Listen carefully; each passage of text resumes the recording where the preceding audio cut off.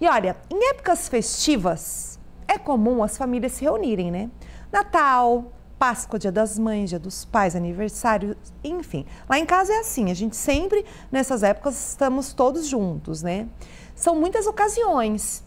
Se você não está com uma relação familiar tão próxima, esta é a oportunidade de se aproximar, gente. E a Páscoa é a semana que vem, né? E nós vamos te ajudar agora, porque eu recebo no estúdio o psicólogo Cleiton Demétrio. Boa tarde, seja bem-vindo. Tudo bem? Boa tarde, Gisele. Boa tarde aos telespectadores da NDTV. Muito obrigado pelo convite. Então, e assim, é, é uma época que a gente fica mais emotivo, quer ficar perto da família, mas às vezes teve uma desavença. Porque em épocas festivas, por exemplo, como a Páscoa, estamos mais abertos a ressignificar mágoas e perdoar pessoas.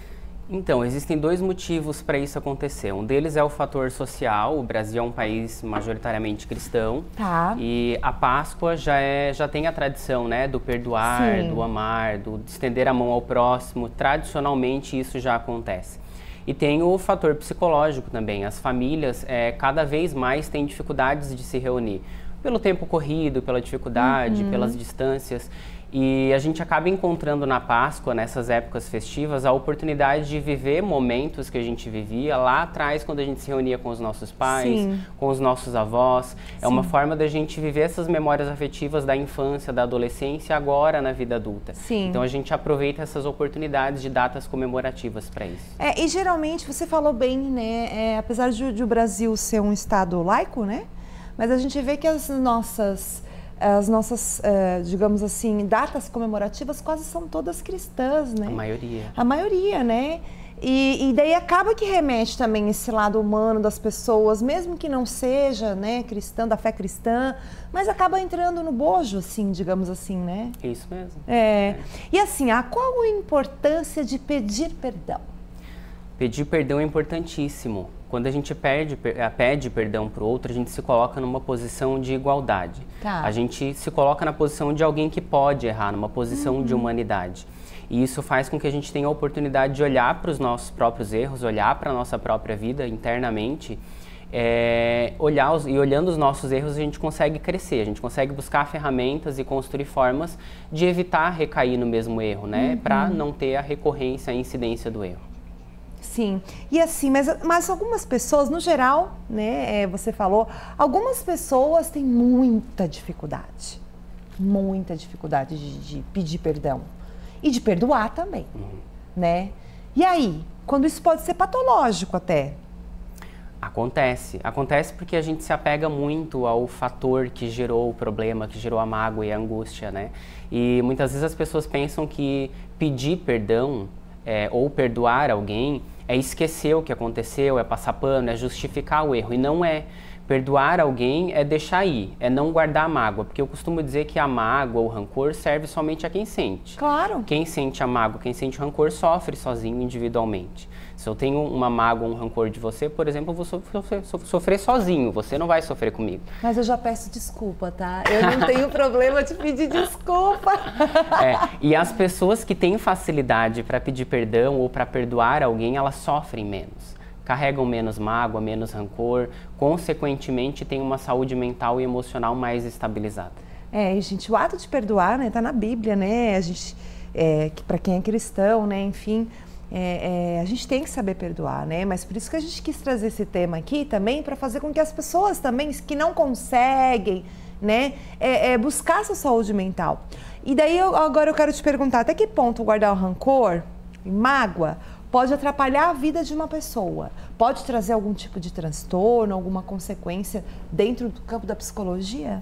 Pode. A gente já tem algumas pesquisas que apontam que guardar mágoa, guardar rancor, é, libera alguns neurotransmissores na nossa corrente sanguínea, principalmente. é, a- agora me fugiu o nome.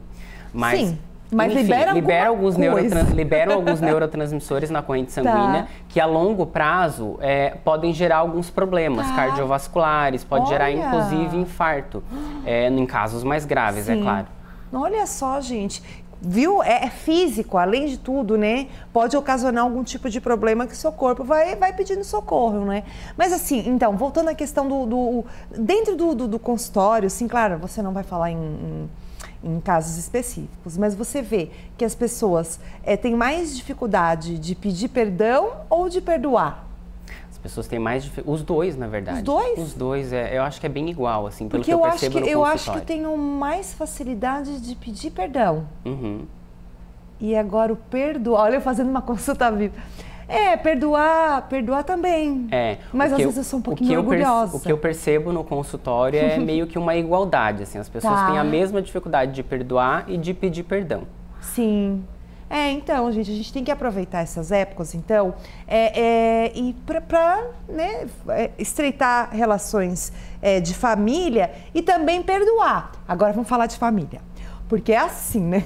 Família sempre tem uns perrengues, assim, né? Às vezes não é muito fácil de perdoar, mas a gente tem que perdoar, né? Você vê muitos casos de confusão de família, Cleiton? É o que mais acontece. Ah, é? É, família, por a gente ficar muito próximo, né, por ter essa proximidade desde sempre, é mais comum que gere desentendimentos. Principalmente quando a gente começa a criar as nossas próprias famílias. A gente sai da família de origem e cria a nossa própria família. Isso faz com que a gente crie valores próprios, crie ideias próprias de como conduzir a Sim. vida. E muitas vezes isso acaba chocando com as ideias da família original, Sim. da família onde a gente foi criado.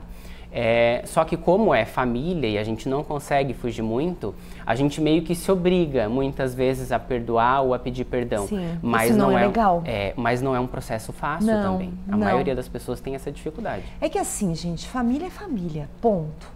Mas é, é, as pessoas são diferentes.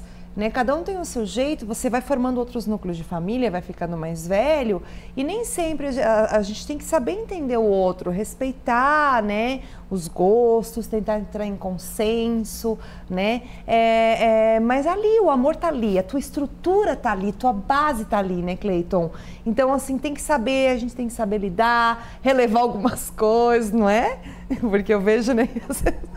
Isso em Não tô qualquer- falando da minha, não. Isso em qualquer tipo de relação, né? Qualquer relacionamento que a gente tem, a gente tem que relevar, a gente tem que Claro. aprender a perdoar, tem que aprender a ouvir também aquilo que o outro tem para nos dizer, porque só assim a gente consegue estabelecer relações saudáveis. Sim, com certeza. Eu achei bem legal. O Cleiton trouxe essa questão do perdoar, né? Porque perdoar é difícil, né, Cleiton? Mas a gente vai trabalhando, É né? necessário. É necessário. Muito legal, né? Pra gente começar. A Páscoa tá chegando. Vamos perdoar todo mundo aí. Começar o ano, digamos assim, Tom Pascal, com o pé direito. Cleiton, muito obrigada mais uma vez. Qual é o seu arroba pro pessoal te conhecer? Arroba psicólogo Cleiton Demetrio. Cleiton Demetrio, Cleiton com Y, né? Isso mesmo. Aí o pessoal pode interagir com ele também. Mais uma vez, volte sempre, tá? Muito obrigado, Gi.